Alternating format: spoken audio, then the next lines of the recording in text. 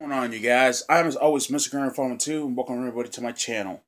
And tomorrow night, tomorrow morning, uh, tomorrow, you guys, I'm going to start my the 11 uh the I'm gonna I'm gonna be working on 11 mo- uh, film reviews for you guys for Star Wars month. I it's come down to this. I'm gonna be reviewing every Star Wars movie starting tomorrow. Um, so hopefully you guys enjoy that and all that stuff. So don't forget, tomorrow is Star Wars month. I'm Mr. Grimreaper 2, and I'll see you all in the afterlife. Peace.